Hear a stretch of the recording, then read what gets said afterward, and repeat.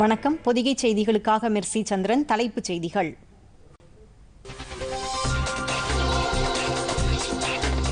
உத்தராகண்ட் மாநிலம் கேதார்நாத் வளர்ச்சி மற்றும் மறு கட்டுமான திட்டம். பிரதமர் நரேந்திர மோடி காணொலி காட்சி மூலம் ஆய்வு.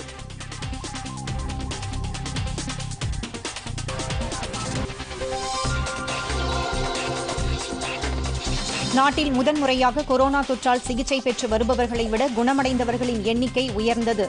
மத்திய சுகாதாரத்துறை அமைச்சகம் அறிவிப்பு.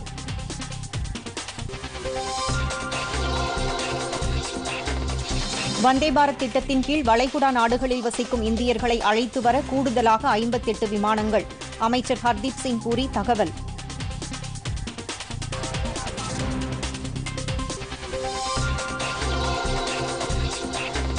தமிழகத்தில் மேலும் ஆயிரத்து தொள்ளாயிரத்து இருபத்தி ஏழு பேருக்கு கொரோனா தொற்று. ஆயிரத்து எட்டு பேர் இன்று குணமடைந்துள்ளதாக மாநில அரசு தகவல்.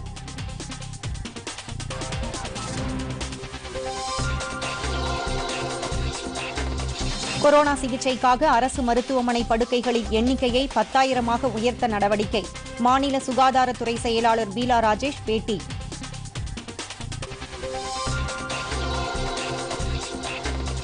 இலங்கை நாடாளுமன்ற தேர்தல் ஆகஸ்ட் ஐந்தாம் தேதி நடைபெற உள்ளது தேர்தல் ஆணையம் அறிவிப்பு.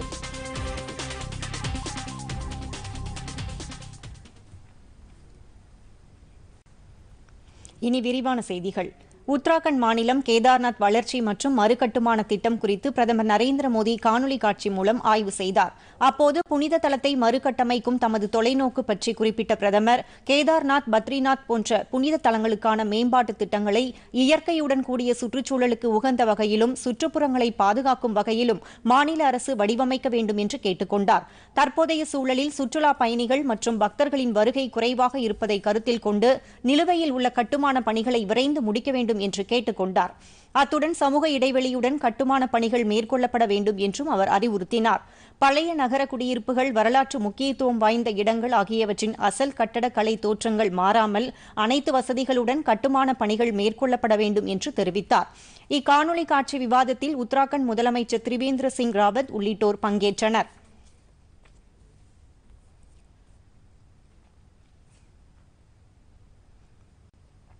அசாம் மாநிலம் தின்சுகியா மாவட்டத்தில் உள்ள பக்ஷன் என்ற இடத்தில் எண்ணெய் எரிவாயு நிறுவனத்தில் இன்று நிகழ்ந்த தீ விபத்து குறித்து பிரதமர் நரேந்திர மோடி அம்மாநில முதலமைச்சர் சர்பானந்த சோனாவாலிடம் கேட்டறிந்தார்.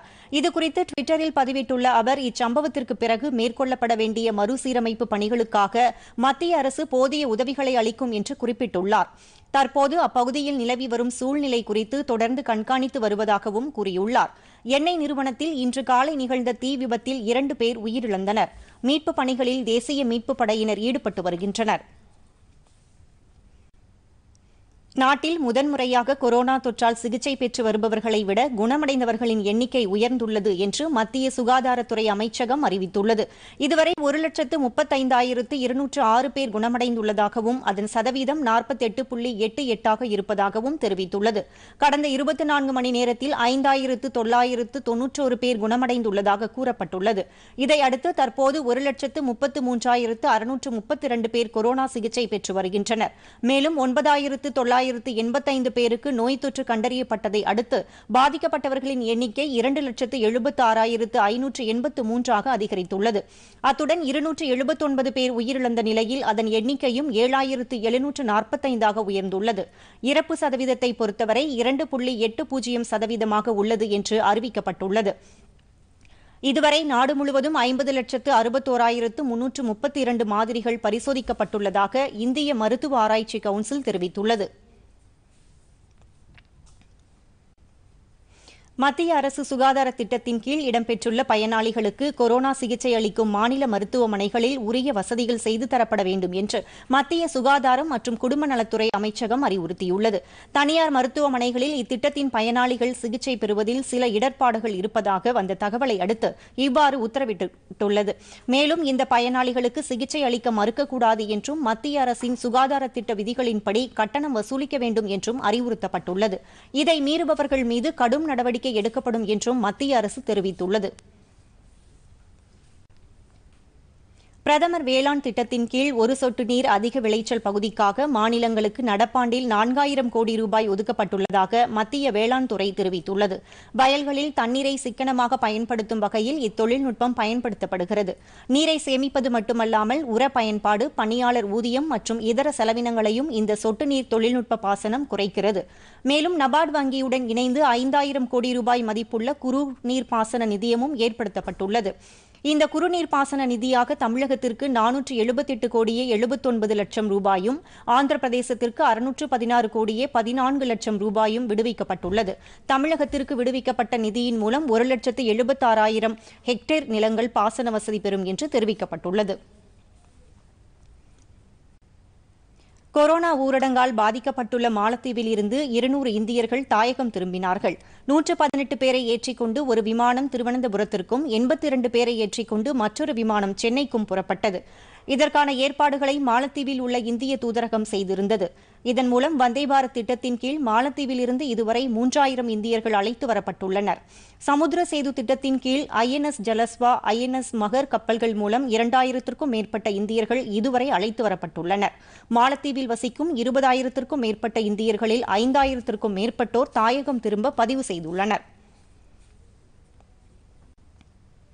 வந்தே பாரத் திட்டத்தின் கீழ் வளைகுடா நாடுகளில் வசிக்கும் இந்தியர்களை அழைத்து வருவதற்காக கூடுதலாக ஐம்பத்தெட்டு விமானங்கள் இயக்கப்படும் என்று அமைச்சர் ஹர்தீப் சிங் பூரி தெரிவித்துள்ளார். இதுகுறித்து அவர் வெளியிட்டுள்ள டுவிட்டர் பதிவில் இந்த விமானங்கள் இம்மாதம் முப்பதாம் தேதி வரை இயக்கப்படும் என்று குறிப்பிட்டுள்ளார்.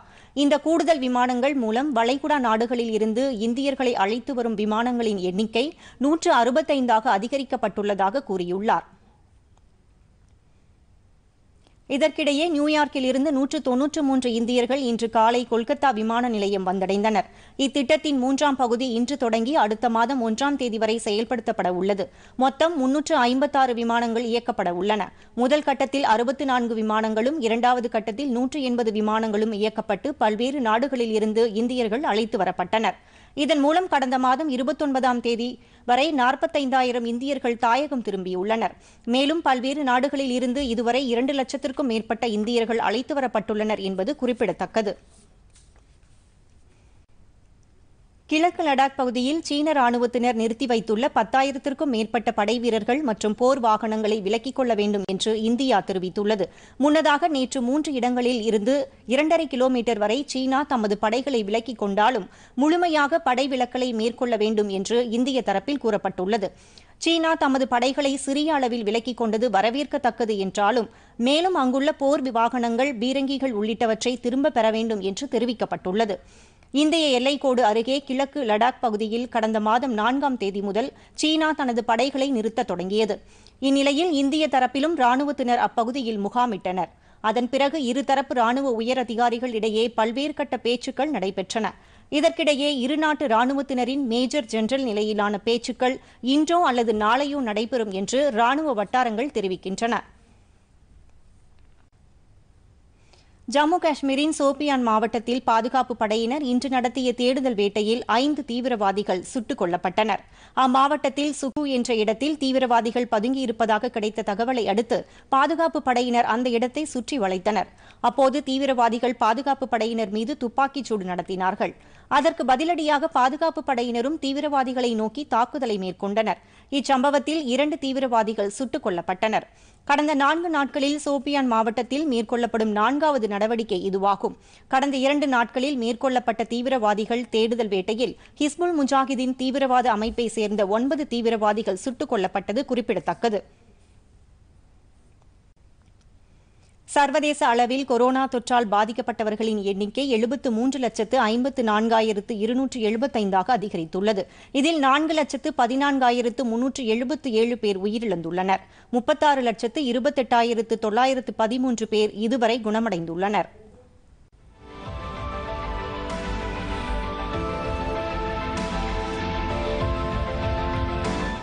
கொரோனா பாதிப்பினால் அமெரிக்காவில் இருபது லட்சத்து நாற்பத்தைந்தாயிரத்து எழுநூற்று நாற்பத்தோரு பேர் பாதிக்கப்பட்டுள்ளனர்.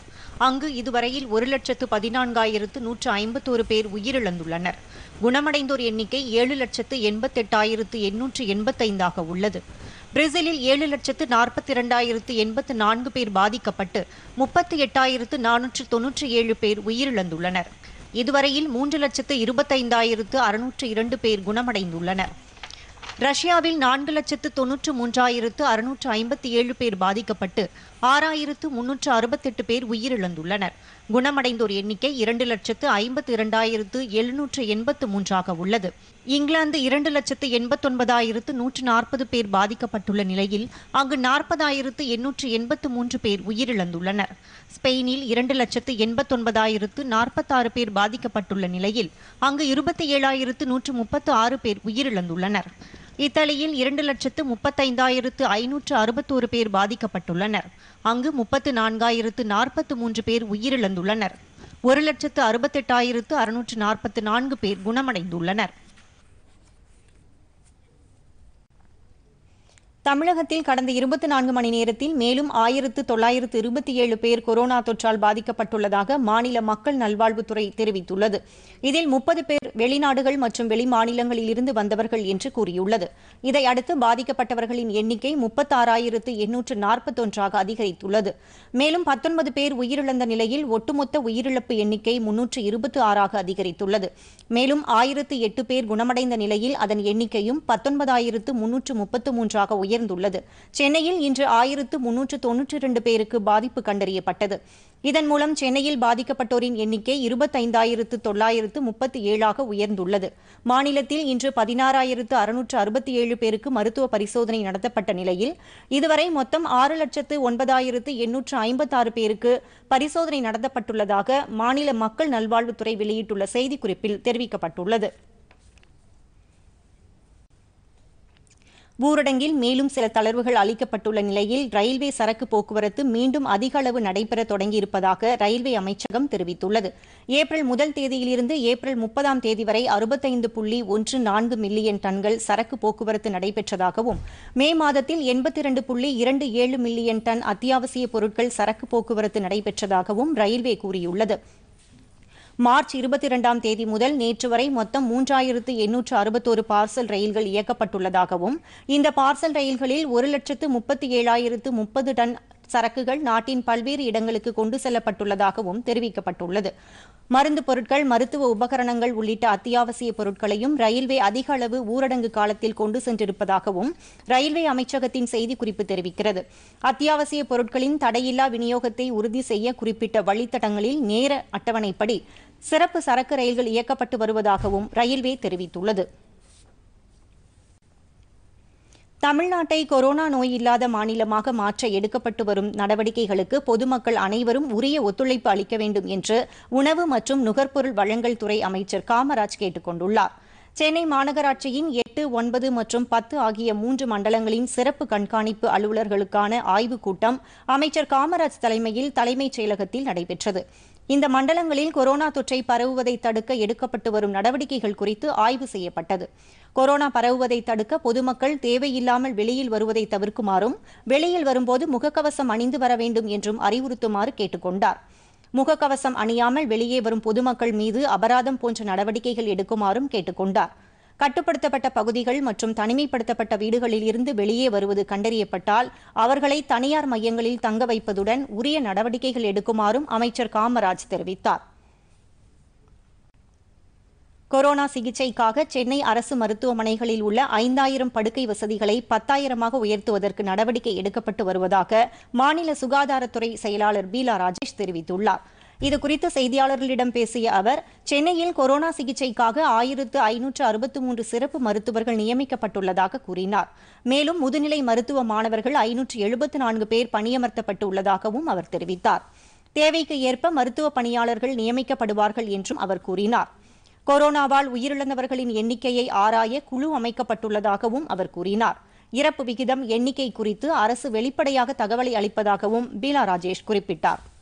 எங்களோட ஐநூத்தி எழுபத்தி நாலு நான் சர்வீஸ் பிஜிஸ் அப்படின்னு இருக்காங்க அவங்கள வந்து இன்னைக்கு நாங்க பணியமர்த்துறோம். சென்னையில் ஸ்பெஷலா இதோட சேர்த்து எங்களோட சர்வீஸ் பிஜிஸ் லாஸ்ட் இயர் முடிச்சு இப்போ மே தேர்ட்டி ஃபர்ஸ்ட் அன்னைக்கு முடிச்ச சர்வீஸ் பிஜிஸ் அவங்களுக்கு வந்து தமிழ்நாடு முழுக்க எங்கெங்க அவங்களுக்கு போஸ்டிங் போடணுமோ அங்கே போஸ்டிங் போட்டுட்டு அவங்கள டெப்யூட்டேஷனில் இன்னைக்கு சென்னைக்கு தொள்ளாயிரத்தி எண்பத்தி ஒம்பது டாக்டர்ஸ் போஸ்ட் கிராஜுவேட் டாக்டர்ஸை கூட்டிகிட்டு வந்திருக்கோம்.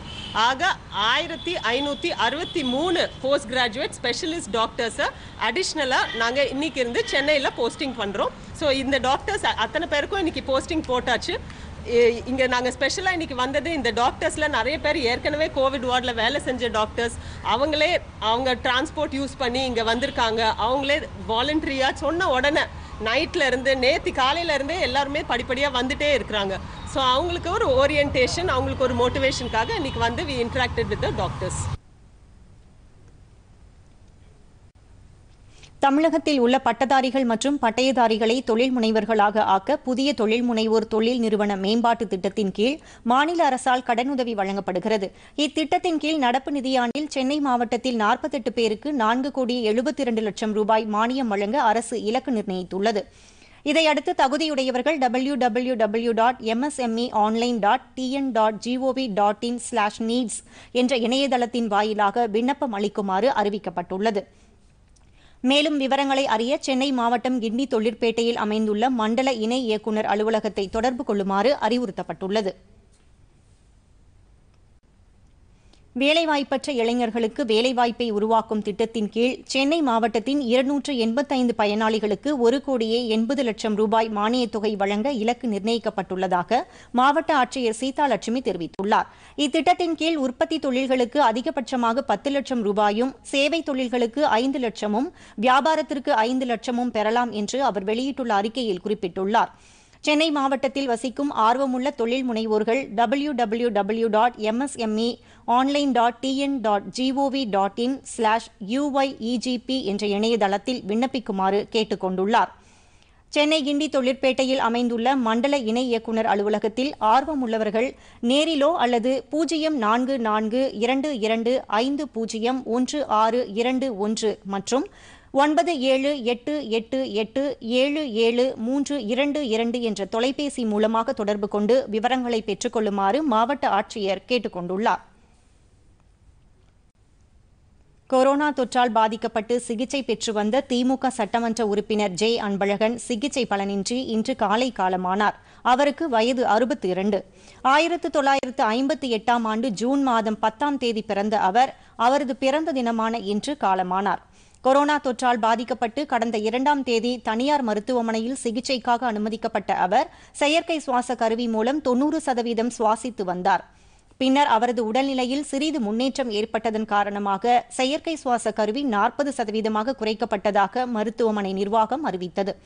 இந்நிலையில் அவரது உடல்நிலை மோசமானதை அடுத்து இன்று காலை எட்டு மணி அளவில் சிகிச்சை பலனளிக்காமல் உயிரிழந்ததாக மருத்துவமனை நிர்வாகம் அறிவித்தது.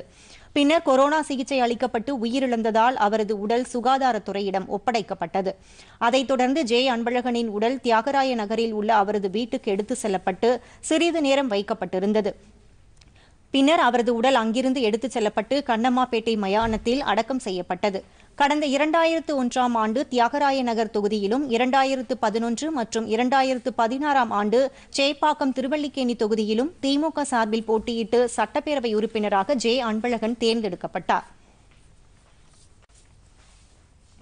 திமுக சட்டப்பேரவை உறுப்பினர் ஜே. அன்பழகனின் மறைவிற்கு தமிழக ஆளுநர் பன்வாரிலால் புரோஹித் ஆழ்ந்த இரங்கல் தெரிவித்துள்ளார்.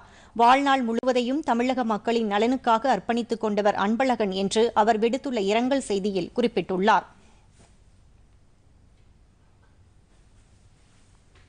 முதலமைச்சர் எடப்பாடி பழனிசாமி வெளியிட்டுள்ள இரங்கல் செய்தியில் ஜே அன்பழகன் மறைந்த செய்தி தமக்கு மிகுந்த வருத்தம் அளிப்பதாக குறிப்பிட்டுள்ளார். சட்டமன்ற உறுப்பினர் ஜெய அன்பழகனின் மறைவு தமக்கு பெரும் துயரத்தை ஏற்படுத்தியுள்ளதாகவும் அவரது குடும்பத்தாருக்கு தனது ஆழ்ந்த இரங்கலை தெரிவித்துக் கொள்வதாகவும் திமுக தலைவர் மு ஸ்டாலின் இரங்கல் செய்தி வெளியிட்டுள்ளார். திமுக தலைமையகமான அண்ணா அறிவாலயத்தில் வைக்கப்பட்டிருந்த ஜே அன்பழகன் உருவப்படத்திற்கு ஸ்டாலின் மலர் தூவி அஞ்சலி செலுத்தினார்.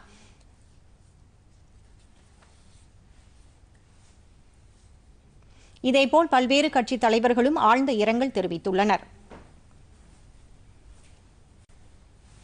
கொரோனா தொற்றால் வெளிநாடுகள் மற்றும் பிற மாநிலங்களில் இருந்து சொந்த மாநிலம் திரும்பியுள்ள தமிழர்கள் தனியார் துறைகளில் வேலைவாய்ப்பை பெற உதவும் வகையில் அவர்களுக்கு திறன் மேம்பாட்டு பயிற்சிகள் அளிக்கப்பட்டு வருவதாகவும் இதற்கான பதிவு செய்யும் பணிகள் தொடங்கப்பட்டு இருப்பதாகவும் தமிழ்நாடு வேலைவாய்ப்பு மற்றும் பயிற்சித்துறை அறிவித்துள்ளது. இது தொடர்பாக தமிழ்நாடு திறன் மேம்பாட்டுக் கழகத்தின் மேலாண்மை இயக்குநர் வெளியிட்டுள்ள அறிக்கையில் வெளிநாடுகள் மற்றும் இதர மாநிலங்களில் இருந்து தமிழகம் திரும்பியுள்ள தமிழர்கள் தாங்கள் விரும்பும் திறன் பயிற்சி பெற தமிழ்நாடு திறன் மேம்பாட்டுக் கழகத்தின் இணையதளத்தில் பதிவு செய்து கொள்ளலாம் என்று தெரிவித்துள்ளார். இதற்காக W W W dot TN skill dot TN dot GOV dot in என்ற பிரத்யேக இணையதள பக்கம் வடிவமைக்கப்பட்டிருப்பதாகவும் அவர் தெரிவித்துள்ளார். வேலைவாய்ப்பு மற்றும் பயிற்சி துறையுடன் தமிழ்நாடு திறன் மேம்பாட்டுக் கழகம் இணைந்து இந்த திறன் பயிற்சிகளை அளிக்க உள்ளது. தமிழகத்தில் முதல் முறையாக சேலத்தில் கட்டப்பட்டுள்ள நீண்ட ஈரடுக்கு பாலம் நாளை திறக்கப்பட உள்ளது. முதலமைச்சர் எடப்பாடி பழனிசாமி இந்த மேம்பாலத்தை பொதுமக்களின் பயன்பாட்டிற்கு திறந்து வைக்க உள்ளார். இதன் மூலம் மாம்பழ நகரம் இரும்பு நகரம் என பல்வேறு சிறப்புகளை பெற்றுள்ள சேலம் மாநகரம் வளர்ந்த நாடுகளுக்கு இணையான கட்டமைப்பை பெறும் நகரமாக மாறியுள்ளது. சேலம் நகரின் முக்கிய பகுதியான ஐந்து ரோடு பகுதி போக்குவரத்து அதிகம் உள்ள இடமாகும். காலை மற்றும் மாலை வேளைகளில் அங்கு போக்குவரத்து நெருக்கடி காணப்படுகிறது. இதற்கு தீர்வு காணும் வகையில் ஐந்து ரோடு பகுதியை மையமாக கொண்டு மேம்பாலம் அமைக்கப்படும் என்று இரண்டாயிரத்து பதினைந்தாம் ஆண்டு அப்போதைய முதலமைச்சர் ஜெயலலிதா அறிவித்தார். அதன்படி இரண்டாயிரத்து பதினாறாம் ஆண்டு பிப்ரவரி மாதம் மேம்பாலம் கட்ட அடிக்கல் நாட்டப்பட்டு பணிகள் தொடங்கப்பட்டன. நானூற்று நாற்பத்தோரு கோடி ரூபாய் நிதி ஒதுக்கப்பட்டு இந்த பணிகள் நிறைவடைந்துள்ளன. இரு சாலைகளில் ஆறு புள்ளி எட்டு கிலோமீட்டர் தூரத்திற்கு மேம்பாலம் அமைக்கப்பட்டுள்ளது. அதில் ஐந்து ரோட்டில் இருந்து மத்திய பேருந்து நிலையம் வரை ஈரடுக்கு மேம்பாலமாக கட்டப்பட்டுள்ளது. இந்த ஈரடுக்கு மேம்பாலம் குரங்குச்சாவடி பகுதியில் இருந்து சுமார் ஏழு கிலோமீட்டர் தொலைவுக்கு அமைக்கப்பட்டுள்ளது. இந்த பாலத்தின் சிறப்பம்சமாகும். இதன் மூலம் வெளியூர்களில் இருந்து வரும் ஆம்புலன்ஸ் போன்ற அவசர வாகனங்கள் உட்பட எல்லா வாகனங்களும் மாவட்ட ஆட்சியர் அலுவலகம் மற்றும் அரசு மருத்துவமனைக்கு எளிதில் சென்றடைய முடியும். சுற்றுலா தலமான ஏற்காட்டிற்கும் இந்த பாலத்தின் வழியாக போக்குவரத்து நெருக்கடியில் சிக்காமல் விரைவாக போய் சேர முடியும். செக்மெண்ட் அடிப்படையில் அதிநவீன தொழில்நுட்பத்தில் இந்த ஈரடுக்கு மேம்பாலம் உருவாக்கப்பட்டுள்ளது. சேலம் மாநகரில் மையப்பகுதியில் கட்டப்பட்டுள்ள இந்த பாலம் தமிழகத்தின் முதல் நீண்ட ஈரடுக்கு பாலம் என்ற சிறப்பை பெறுகிறது. நாள்தோறும் லட்சக்கணக்கான வாகனங்கள் வந்து செல்லும் ஐந்து ரோடு பகுதியை மையமாக கொண்டு கட்டப்பட்டுள்ள ஈரடுக்கு மேம்பாலம். நாளை பயன்பாட்டிற்கு வருவதால் வாகன ஓட்டிகளும் சேலம் மாநகர மக்களும் மகிழ்ச்சி அடைந்துள்ளனர் பொதிகை செய்திகளுக்காக சேலத்தில் இருந்து ஜி. விஜயகுமார். கடலூர் நகரில் சுமார் இருபது லட்சம் மதிப்பில் அமைக்கப்பட்டுள்ள சிசிடிவி கேமரா கண்காணிப்பு அறையை மாவட்ட காவல் கண்காணிப்பாளர் ஸ்ரீ அபினவ் திறந்து வைத்தார். முத்துநகர் காவல் நிலைய எல்லையின் பதினாறு இடங்களில் நாற்பது கேமராக்களும் திருப்பாப்புலியூர் காவல் நிலைய எல்லையில் பத்து இடங்களில் முப்பத்தி இரண்டு கேமராக்களும் பொருத்தப்பட்டுள்ளன. பொதுமக்கள் மற்றும் சிப்காட் அசோசியேஷன் உதவியுடன் இந்த கண்காணிப்பு கேமரா அறை அமைக்கப்பட்டுள்ளது. மாவட்டத்தில் குற்றத்தடுப்பு முன்னெச்சரிக்கை நடவடிக்கையை வலுப்படுத்தும் வகையில் இந்த கண்காணிப்பு கேமராக்கள் பொருத்தப்பட்டுள்ளன. மாவட்ட துணை கண்காணிப்பாளர் சாந்தி வணிகர் சங்க தலைவர் துரைராஜ் எழிலரசன் ஆகியோர் நிகழ்ச்சியில் கலந்து கொண்டனர்.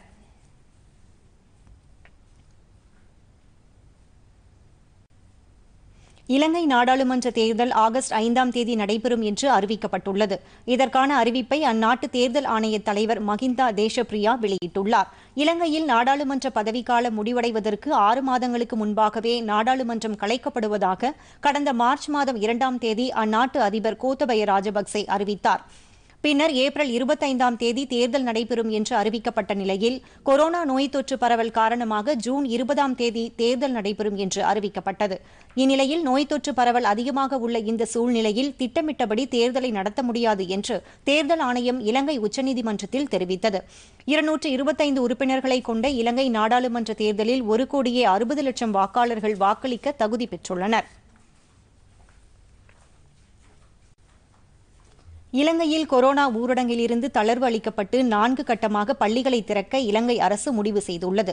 கடந்த ஒரு மாத காலமாக இலங்கையில் கொரோனா தொற்று பரவல் சற்று தணிந்துள்ளதால் இம்மாத கடைசியில் நான்கு கட்டங்களாக பள்ளிகளை திறக்க இலங்கை அரசு முடிவு செய்துள்ளது. பள்ளி ஆசிரியர்கள் மற்றும் முதல்வர்கள் இம்மாதம் இருபத்தொன்பதாம் தேதி பணிக்கு திரும்ப உத்தரவிடப்பட்டுள்ளதாக இலங்கை கல்வித்துறை அமைச்சர் டல்லஸ் அலகா பெருமா தெரிவித்துள்ளார். இரண்டாவது கட்டமாக ஜூலை மாதம் ஆறாம் தேதி அன்று பள்ளிகள் திறக்கப்படும் என்றும் மூன்றாவது கட்டமாக ஜூலை மாதம் இருபதாம் தேதி பள்ளிகள் திறக்க உத்தேசிக்கப்பட்டிருப்பதாகவும் அவர் தெரிவித்துள்ளார். இருப்பினும் கிரேட் ஒன்று மற்றும் இரண்டு வகுப்புகளுக்கான பள்ளிகளை திறக்க இதுவரை முடிவெடுக்கப்படவில்லை என்றும் அவர் தெரிவித்துள்ளார். இலங்கையில் கொரோனா தொற்றும் இதுவரை ஆயிரத்து எண்ணூற்று ஐம்பத்தி ஏழு பேர் பாதிக்கப்பட்டுள்ளனர். கொரோனா தொற்றுக்கு அங்கு இதுவரை பதினோரு பதினோரு பேர் உயிரிழந்துள்ளனர். கொரோனா தொற்றில் இருந்து ஆயிரத்து ஐம்பத்தி ஏழு பேர் குணமடைந்துள்ளனர். சர்வதேச டெஸ்ட் கிரிக்கெட் போட்டியின் போது அணியில் இடம்பெற்றுள்ள வீரர் யாருக்காவது கொரோனா அறிகுறி தென்பட்டால் அவருக்கு பதிலாக மாற்று வீரரை பயன்படுத்த ஐசிசி அனுமதி அளித்துள்ளது. பேட்ஸ்மேன் அல்லது பந்து வீச்சாளருக்கு கொரோனா அறிகுறி தென்பட்டால் அவர்களுக்கு பதிலாக மாற்று வீரரை களமிறக்கிக் கொள்ளலாம் என்று ஐசிசி தெரிவித்துள்ளது. எச்சில் மூலம் கொரோனா பரவும் அபாயம் உள்ளதால் பந்து மீது எச்சிலை தேய்க்கவும் இடைக்கால தடை விதிக்க வேண்டும் என்ற பரிந்துரைக்கும் ஐசிசி ஒப்புதல் அளித்துள்ளது. இனிவரும் டெஸ்ட் போட்டிகளில் இது அமல்படுத்தப்படும் என்று தெரிவிக்கப்பட்டுள்ளது. தமிழ்நாட்டில் ஆங்காங்கே இடியுடன் கூடிய மழை பெய்ய வாய்ப்புள்ளதாக சென்னை வானிலை ஆய்வு மையம் தெரிவித்துள்ளது.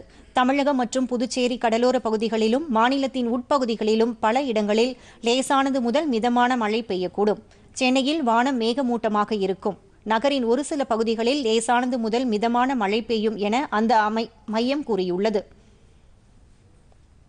இதற்கிடையே நாகை மாவட்டத்தில் நேற்று மாலை நல்ல மழை பெய்துள்ளது. கோடை வெயில் தாக்கம் அதிகமாக இருந்த நிலையில் இந்த மழையின் காரணமாக விவசாயிகளும் பொதுமக்களும் மகிழ்ச்சி அடைந்துள்ளனர். விவசாயத்திற்கு மேட்டூரிலிருந்து தண்ணீர் திறக்கப்பட உள்ள நிலையில் தற்போது பெய்து வரும் மழை மகிழ்ச்சி அளிப்பதாக விவசாயிகள் தெரிவித்துள்ளனர்.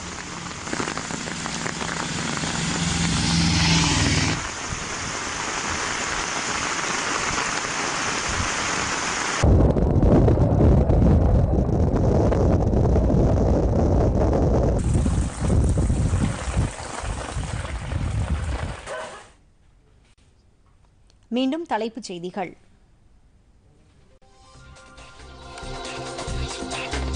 உத்தராகண்ட் மாநிலம் கேதார்நாத் வளர்ச்சி மற்றும் மறுகட்டுமான திட்டம். பிரதமர் நரேந்திர மோடி காணொலி காட்சி மூலம் ஆய்வு.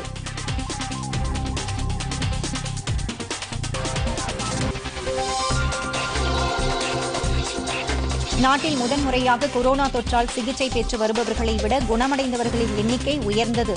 மத்திய சுகாதாரத்துறை அமைச்சகம் அறிவிப்பு.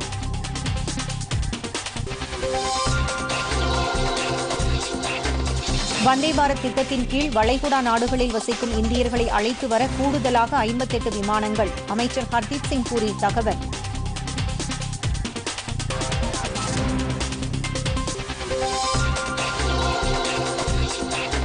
தமிழகத்தில் மேலும் ஆயிரத்து தொள்ளாயிரத்து இருபத்தி ஏழு பேருக்கு கொரோனா தொற்று. ஆயிரத்து எட்டு பேர் இன்று குணமடைந்துள்ளதாக மாநில அரசு தகவல்.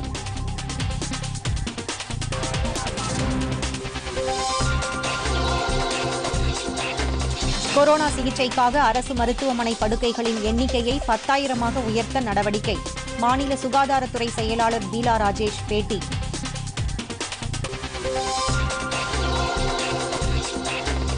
இலங்கை நாடாளுமன்ற தேர்தல் ஆகஸ்ட் ஐந்தாம் தேதி நடைபெற உள்ளது. தேர்தல் ஆணையம் அறிவிப்பு.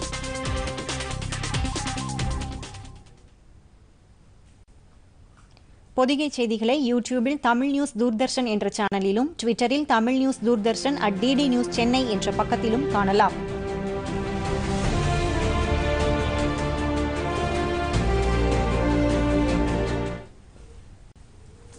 இத்துடன் செய்திகள் நிறைவடைகின்றன. வணக்கம்.